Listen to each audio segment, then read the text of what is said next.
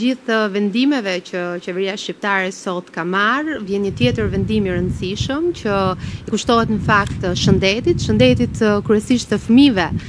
talasemikë dhe gjithë atyre të cilët vuajnë nga sëmundje të lindura të gjakut dhe që kanë nevojë për transfuzione periodike të gjakut në institucionet tona publike.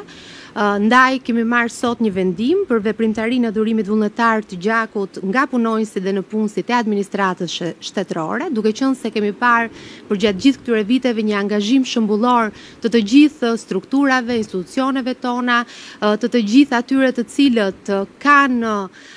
kanë patur vullnetin për të vijuar dhe për të dhënë vullnetarisht gjak në periudha të caktuara të vitit. Tashmë kemi vendosur që të kemi të konsoliduar një kalendar, i cili do të jetë një kalendar i posaçëm, i organizuar nga Qendra Kombëtare e Dhurimit të Gjakut dhe gjithashtu edhe nga institucionet e administratës shtetërore dhe gjithashtu për ata të cilët do të dhurojnë vullnetarisht gjakun do të ketë disa incentivime pra të cilat vijnë edhe në zbatim të ligjit, por gjithashtu edhe si një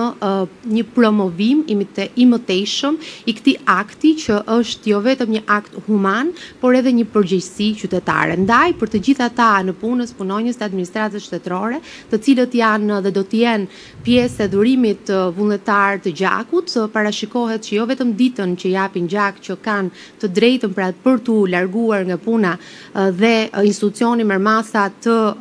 të paguajë rregullisht për ditën e punës, por edhe ditën e nesërme të jetë pushim, duke e patur këtë detyrim pikërisht institucioni për të paguar rregullisht ditën e punës, pra edhe të nesërmen pas ditës së dhurimit të gjakut. Nga ana tjetër, për ata dhurues që do të jenë pjesë e rrjetit të dhuruesve të cilët do të do të dhurojnë gjakun minimalisht tre herë në vit, do të kenë mundësi gjithashtu që sipas një kalendari të përcaktuar nga ministria nga ministritë respektive, Ministria e Brendshme, Ministria e Mbrojtjes, të kenë mundësi pra që të mundet të pushojnë në shtëpitë e pushimit të ministrive pra respektive shtatë ditë në përgjatë një kalendari pra dhe të i cili do të organizohet nga institucionet që do të merren me këtë veprimtari. Është një një nisëm besojmë shumë e mirë, një nisëm që do të rrisë dhurimet vullnetare të gjakut, do të ketë një angazhim shumë më të madh të punonjësve për t'u bërë pjesë aktive e këtij e kësaj fushate e cila do të ndodhi jo vetëm në ditë të caktuara të vitit, jo vetëm në muaj të caktuar të vitit, duke qenë se e dimë që periudha e verës është një periudhë e cila ka një vështirësi të posaçme sidomos për dhurimet vullnetare të gjakut, do të mundësojmë që të rrisim pikërisht sasinë e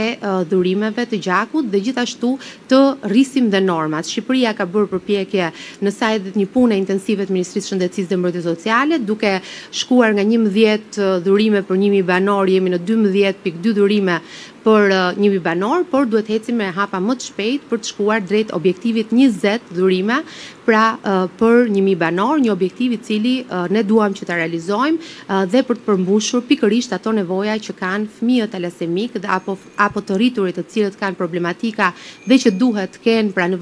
vazhdimësi transfuzione të gjakut për ta patur këtë në një mënyrë sa më optimale dhe duke angazhuar të gjithë ata të cilët dhurojnë në mënyrë të sigurt gjakun. Faleminderit.